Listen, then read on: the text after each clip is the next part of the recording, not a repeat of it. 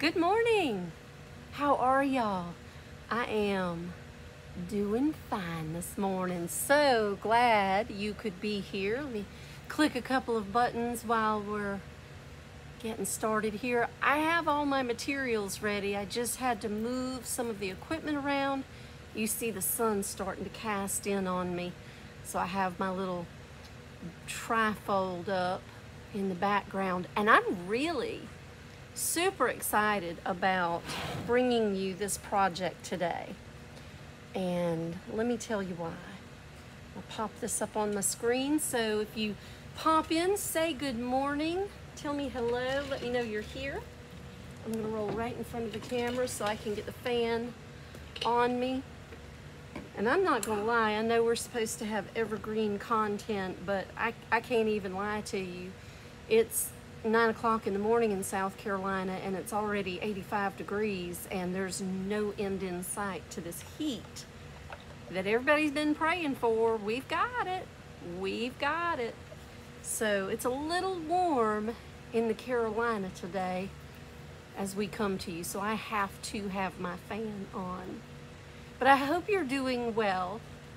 And I hope that somewhere in your travels throughout the different retailers and online sales that you have purchased one of these.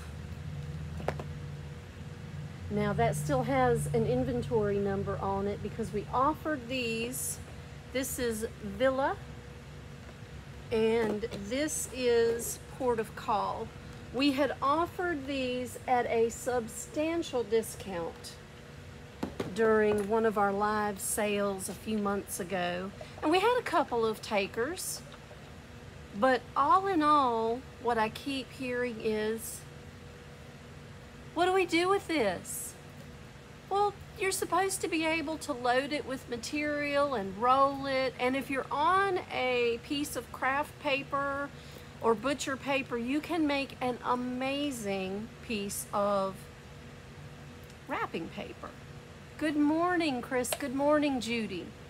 But if you want to do something with it, like really do something with it, what do you do? Well, I've been at kind of a loss. I've tried some different things. These boogers are a little bit hard to manage because in the pack, they have this awesome little roly foam piece, which is great because it loads your material for you. That is superb. But past that, what do you do with it? Because it can be a little tedious. I'm gonna be honest. It can be a little tedious to manage. Well, I took my foam roller off, y'all. I had to take this out because it caused me great anxiety. Not only did I have to keep one thing straight, but I had to maneuver with the second piece, and it was just not in my skill set. So I have put this away, and I have not played with it. And I have been disappointed because these are really cool tools. But if you don't know what to do with your cool tools, what do you do with them? Well, I'm going to show you this morning because I found a really cool way to change this and use it kind of the way it was intended, but with a little bit of a switch up because that foam roller had to go. Not my thing, not helpful to me in my life at all. So that had to go. Let me show you this board right here. Because right now this just looks like a painted piece with a lot of wrinkles in it, doesn't it? And, and it does. Because this thing was some kind of tacky old 1960s scenic print, but it's a huge solid piece of wood with just a thin sheet of print on it. Good morning, y'all. Good morning, Lynette. Good morning, Michelle. A very, very nice frame. And you know what it's the perfect size for? The brand new Queen of the Nile. I measured and I marked and I was like, oh, this works. But you know, the Queen of the Nile can't just be on anything and she can't just be plain because she's the queen. So we have to treat her with a little bit more respect and give her a little bit more standard on whatever she's going to stand on. So the other day, when I was getting ready to leave, I broke out this board, some fog, Rethunk Junk fog, and this roller. And I put two or three layers of wet paint on. I just went over and over and over and over until I had a good base laid down. And I let it tack up a little bit. And then, then I took this and I did a thing over here. Now you can't see it right now. Linda, good morning, honey. You can't see what I did because it's there, but there's nothing to make it stand out. And that's not cool either. So let's get cracking on this this morning. Let me, oh, let me pull my switcher back up. There we go. Let me show you what we're gonna do this morning. I have my Rethunk Junk Classic Black Glaze and I have my Miracle Sponge. Have you gotten your Miracle Sponge yet? Miss Judy, you got some, didn't you? Need them, need them in your life. Now, I don't want, I'm gonna grab my water too. I don't want heavy, heavy to begin with. I want you to be able to see this texture and I'm gonna show you how to get to that. And then I'll go live later on and we'll put the Queen of the Nile on here. So the very first thing I'm gonna do is I'm going to move out of the fan and I'm gonna spritz, just damp spritz, my Miracle Sponge because I don't want this saturated. I just want it damp so it does not absorb all of my glaze. I'm gonna grab a glove and I'm gonna put my little glove on so I don't get my hands all mushy messy. And I'm going to kick this over to a single view so that I can show you this amazing texture. Now I can do two things here because I'm working out of a smaller container. I can take my glaze and I can just tump it over and get some on there. Good morning, Miss Judy. How are you, dear? I don't want that dripping though, so I'm gonna tamp it back off just a little bit. You can't see this, but watch. Let me get this glaze on here and let me get my damp rag I may be able to do this all with the sponge. Wouldn't that be amazing and cool? Because this has had days to dry. Oh, and we're gonna get the texture of the wrinkles and it's okay. The wrinkles are just because there was a really cheap print, landscape print behind this. And I'm sure I'll find out later that it was a Bob Ross and that I just painted over one of his amazing and unbelievable prints. But you know what? Nobody wanted this piece. It has been in my store for quite some time and nobody wanted it. So I don't think I did any damage to something. And I don't think it was a Bob Ross, really. Are you catching any of this texture? Can you see it now? As I lay this black glaze in over the top of the paint that I rolled in, this is just like stamping into your damp paint, but with the roller, y'all. Can you see it now? Let me ooch you in just a little bit. I don't know that I can I don't know that I can. Oh, you know what? Yes, I can. Let me give you a zoom view. Can you see that texture now? Look at that. You couldn't really see it before, but look at it now. And you know what? I had not lost hope for these rollers, but it just took the right amount of thinking. Now let me ease you back out just a little bit so you can see this happen. Let me do this and see what we get. Come on, switch your work with me. There we go. All right. Watch this.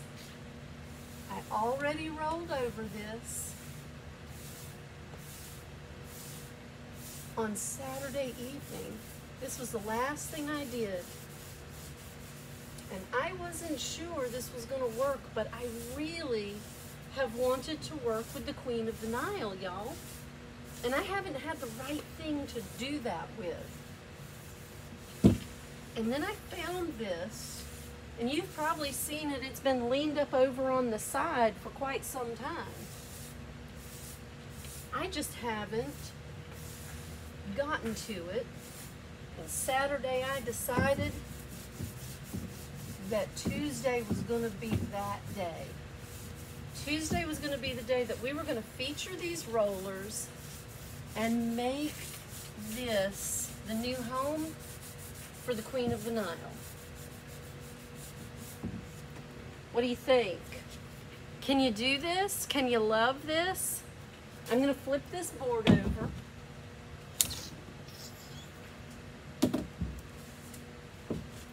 And I'm going to finish glazing. I'm going to spritz just a little bit of water along this landscape edge because I don't want a harsh line right there. And if you're working with Rethunk Junk paint products, you will see that water is your friend when you want to erase harsh lines.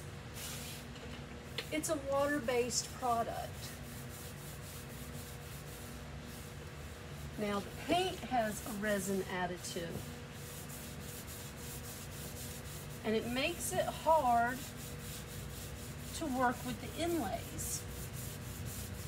It's not impossible, we have found. It's just not simple because our paint is made for durability for furniture and cabinets.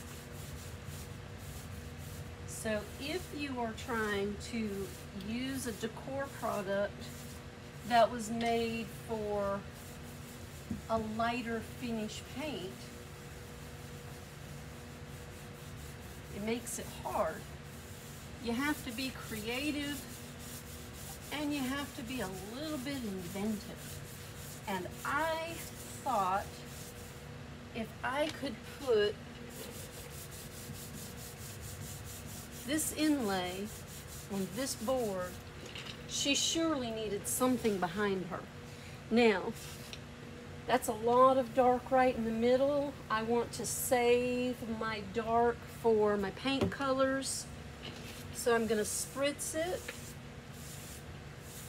and I'm just gonna work it. I don't want a harsh line right here. So I can erase some of that back. I'm gonna flip my sponge over and that'll help me take some of that material off.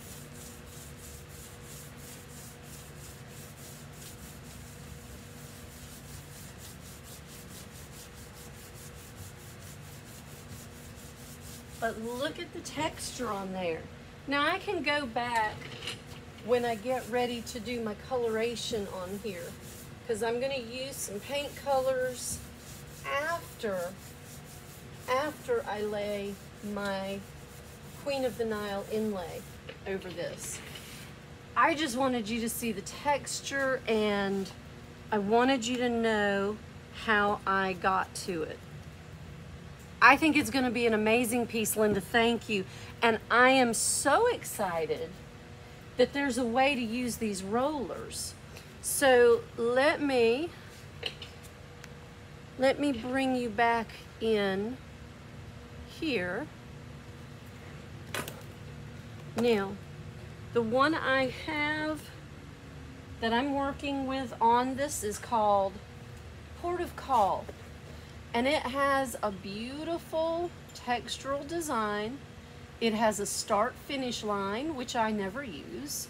I try, y'all, I do. Um, this is the image that you'll get when you do just a small, serious line. And this is Villa. I always say Villa. Bob Villa. He would love this. This is very busy. There's a lot going on here. If you use this, wouldn't that make an amazing border? LaDawn, good morning, honey. I think this would make a beautiful border. And in order, hey, Tay baby, in order to get to this, let me show you what we've got to do. I cut it, this plastic, y'all, it's just like the containers that you get at the store anymore. You better have 10 snips to cut this plastic open because the plastic is the most serious part. Be careful because it'll cut your fingers. It will. My mercy. There we go. And trim that down. There we go. I got the top open. So pop this baby open just like that. Just give it a good pull and then throw that thing in the trash. What I found with these is that there's a lot of resistance. It takes a lot of push to move these two together. And you know, I always say, it shouldn't hurt. You shouldn't have to push hard. And in order to make this work, I was killing myself. And that's not okay. If it's that hard to do, there's a problem. So I had my screwdriver out here and I put it away. So I'm gonna have to get my trusty drill. I've got it right here. I moved it out of the way so I didn't knock it over this morning. So let's take this apart. Let's, um, I'm gonna put my glasses on. It's just a Phillips head screw and all we're gonna take off is this foamy piece. I'm just not a fan. Take the screws out, don't throw the screws away. Always keep your spare hardware. Right, Tay? You're always gonna need it. And guess what? Those are, it's out. Let me get this screw off. I've still got my rubber glove on, so it's not doing the thing. Gone. Now, I'm not gonna throw it away, and I'm gonna put the screws back in. You know, as I grow with this tool, I might find that I can figure it out and I can do something with it. But for right now, it's not my thing. So I'm not gonna throw this away. I'm gonna put it to the side. I'll probably bag it. And now, now I have a roller I can work with. It's not as free rolling as a brayer, but it does the job. It does what it's supposed to. It has the start and finish line right here. Let me get you in the camera's view. There you go. There's your start finish line and then you have your pattern. Now, when you're doing this alone, and it's gonna show a lot, you really need to be careful with your lines. I'm not really careful with my lines all the time. I'm gonna do the best I can. I've got a piece of acetate that I use exclusively for paint, clearly. I'm gonna scooch some things out of the way, so pray I don't knock anybody over. Y'all hold your breath. There we go. I didn't knock anybody over, did I? All right, and I'm gonna lay this down. This morning, I've got my morning mist because, wait a minute, Hydrangea Kiss, I thought that was awfully blue. And I've got a board that I had already painted black previously. We're gonna dust this off and we're gonna use this to showcase. Now, because I have already painted it, I don't need to prep it, but because it's dusty, we're gonna clean this thing off. There we go. You don't want to roll over a dusty piece, but because it's already been painted, you don't need to prep it. You just need to clean it. And it's been painted for a while and it's been shoved around and it's got a few nicks in it, but it's nothing that's gonna bother me. I'm just using this for a test board, for a demo, and I can always paint back over it or find something else to use it for. I wanted to be able to show you today how to Good morning, sweetheart. How are you, Lauren? I wanted to be able to show you today how exactly how to get started with this and use this amazing tool in a new way. I know there are people out there who know how to use this perfectly. I'm not one of them. And because I'm not one of them, I'm like, well, maybe somebody else doesn't know how to use it really well too. Because these should be in your toolkit. In any form, these should be in your toolkit. So let's work toward that because when you have amazing tools, you can do anything. Now, I know you can't see and I can't turn you away from the board to show you this, but what I'm gonna do is I'm gonna pour some of this out on my sheet of acetate and I'm gonna grab one of my handy paint can openers first because glued shut, yep. Show of hands. Who really wipes their lids off, honestly? Who really wipes their lids off before they close them? Show of hands. If you do, raise your hand. Lauren, don't raise your hand. You're a teacher. We all know you do. Just like that, it's open. All right, not a lot of paint because you don't want to overload your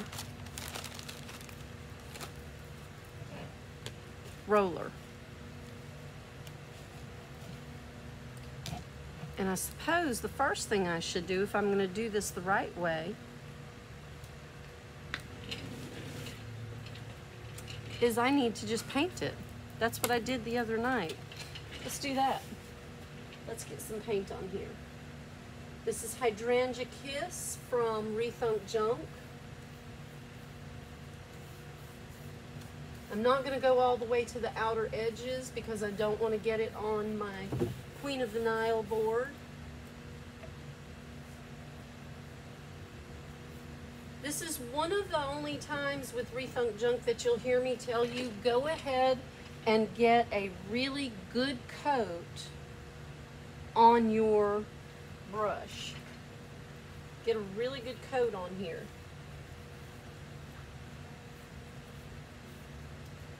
And it doesn't really matter what direction you've got it going in.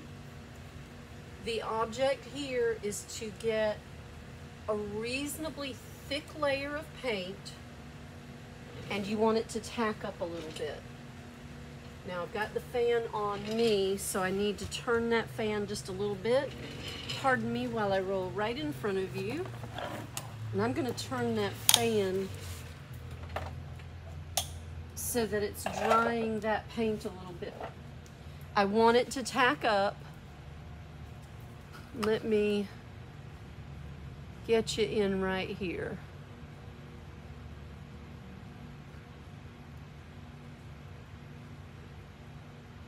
There we go. I want to get you back in here and I want to zoom in just a little bit because I want you to be able to see how thick this paint is. You'll never, never hear me tell you to put a thick layer of paint on when you're doing the Rethunk junk because you never need to. It's not the thing we do. You don't overwork it and you don't overload it, right? That's how you get brush strokes. And we don't like brush strokes. But in order to work this roller and get the impression from the roller, you're going to need it to go into something. And a thin layer's not going to get it. So we're going to need a little bit of extra paint on here.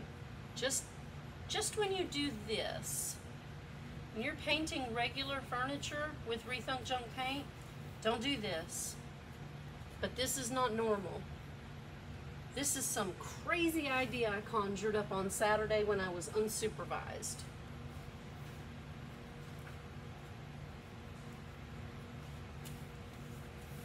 I'm to go all the way to the bottom. And again, I'm not going over the edge of the framework because I don't want to get it on my Queen of the Nile board.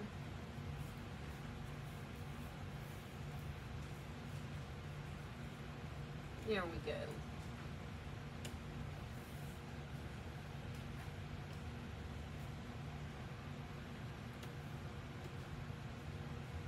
That should be a good thick coat.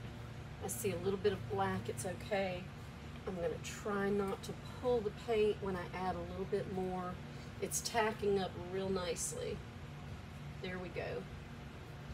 A little bit of extra. That's a lot of extra, isn't it? Good morning, Alice. How are you, hun?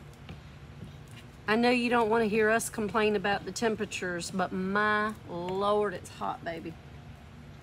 All right, now let's let that tack for just a second. Go ahead and grab your coffee and have a good sip. Are you ready for this? Let's see this happen. We're using the Villa roller. We just took the foam pad off. Two little screws, one right here and one right here. So now all we have is the roller stamp to work with. And if you have not purchased one of these, I swear today's the day you're gonna want this. And you should get it. You've gotta have this in your toolkit. All right, are you ready? I will do the best I can to keep my lines straight. If I don't, don't panic, it's okay. I'm not gonna panic, don't you panic. And I'm gonna try to start with my line at the top Let's see what this does. Ooh, it's not tacked up enough. Nope, it's sliding. If it starts to slide, it's not tacky enough, stop where you are. Let me wipe this clean so the paint doesn't dry. Just like a regular stamp. If it starts to slide, stop working with it. Just stop what you're doing because you don't want it to slide like that. How do I fix that? Easy peasy, y'all. Little piece of water. Just a little piece. And we'll just brush right over that. All right, let's get that fan working. Let me bring it in a little bit closer. Here we go. While I clean this up. Do any, any of you actually, do you have these? Have you seen these? rollers? Who's worked with them? Anybody? I've worked with them a couple of times, but I'll be honest. I got them, I thought they were really cool, and I tried to work with it, and it's really cool, but it's really hard to work with. And there are no instructional videos for these. These are first generation. And some of the first generation tools didn't come with all the fabulous marketing and instruction that we have now. So we just didn't have everything for every product. So I ran into, throw that in the trash. I ran into a tough time trying to figure out how to use these, but they're neat. They're, and I know the sisters had a really fabulous intention for these when they created them. So since we are unsupervised with these, we can do it however we see fit, right? We can create our own niche for these rollers. Now I'm just, I'm cleaning out the paint from in these grooves while that paint tacks up a little bit with the fan on it. And I'm talking, talking, because I want you to know that sometimes there are no instruction videos and you really are left to your own devices. And I think that's when it's the three o'clock in the morning aha moment that you go, I figured something out here. I think I figured something out. Let's try it. So this is what we're doing. We're trying this. Is it going to work 100%? I don't know. But let's try it and see. And let's learn how to better utilize the tools we have. That way, we're saving money and we're still giving ourselves the ability to create and think about what we can create. Because I'll tell you, we need to use everything we have in our toolkit these days and make sure we make sure we are taking our creative time to heart so that we can stay happy and peaceful with ourselves and the world around us. When you don't have any control over what the world is doing, it's okay. I think this is tacked up pretty good. Let's try it now. I'm going to take my line, I'm going to roll it around, I'm going to try to make sure that's where I start. I'm not going to press hard, but I'm going to give it a little bit of pressure. And if it doesn't come out perfect, let it, let it be what it's gonna be. I'm a little bit down here toward the bottom. It's okay. Keep going. Uh, it's okay. That gave, oh wow, can you see it? All right, I've got to zoom back in on this because y'all, that gave us the most amazing texture on that side. Let's do it again. Let's see if we can do it again. And I'm not the one who's always gonna line it up right, but I'll try, I'll try. Let's do it again. It looks like lace. And it's smushing. There's a lot of paint right there. Oh, I'm gonna mess that up. All right, I'm gonna leave it alone. I'm gonna get out my baby wipes and I'm going to clean this off. I'm gonna move the fan a little bit closer so it, I just think that looks amazing. And it skipped a little bit. I'm trying not to press on it too hard.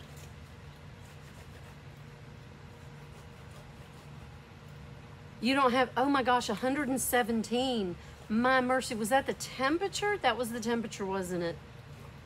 Lord have mercy, Alice. And that's like walking into an oven.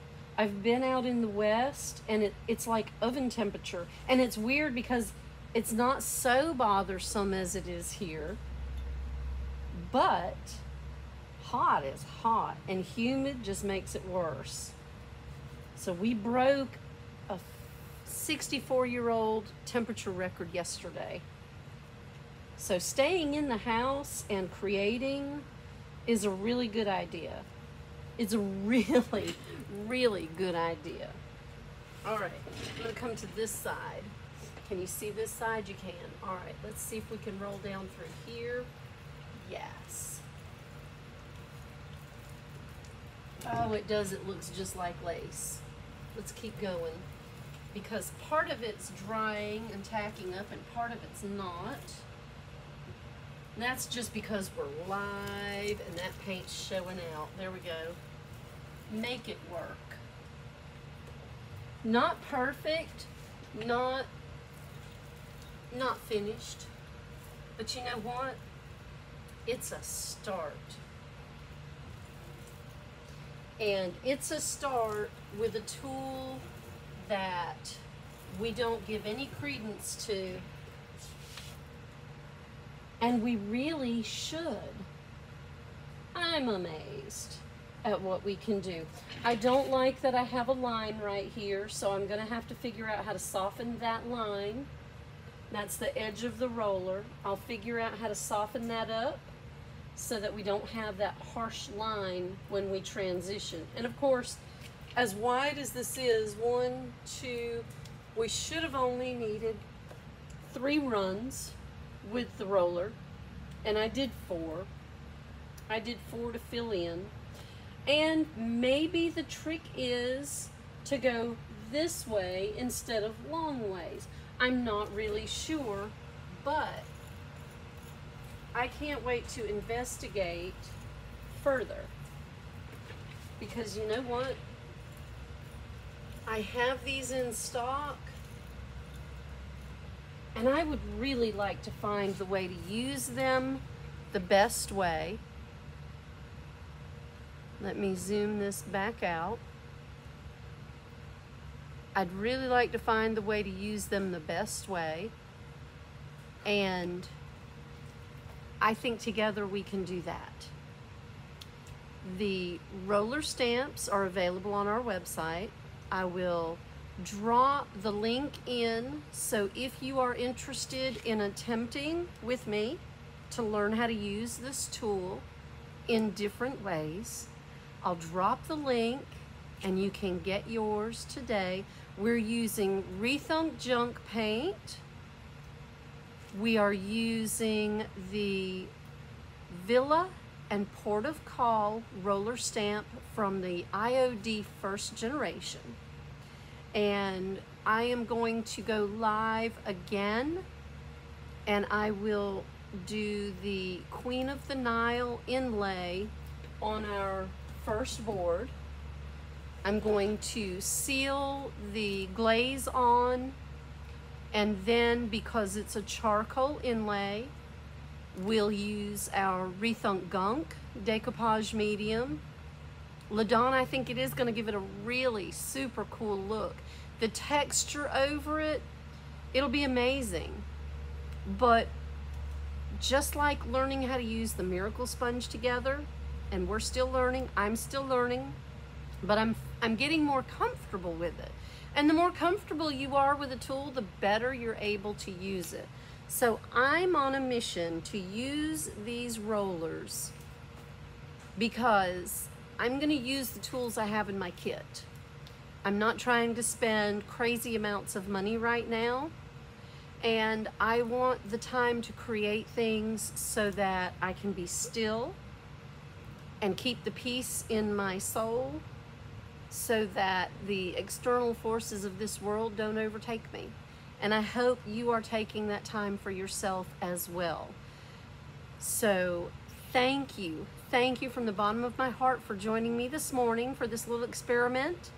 And I hope you will join me again. I will try to go live here in about another 30 minutes and we will roll in the Queen of the Nile paint inlay on our large board surface.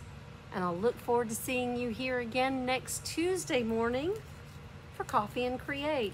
Y'all grab yourself a cup of iced coffee this morning, iced coffee, to get through this heat and humidity and create something amazing today. Thank you so much for being here. I appreciate it and I will